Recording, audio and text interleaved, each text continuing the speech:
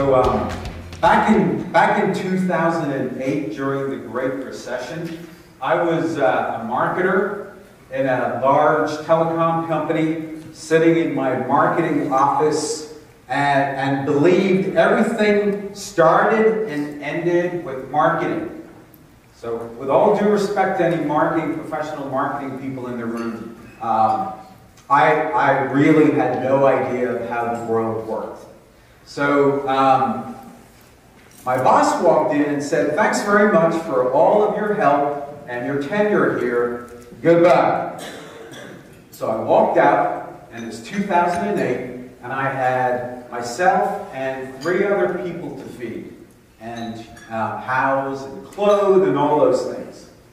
So I was really up Crouch Creek, right? Uh, I needed a job. I really needed a job, and it, was desperate times.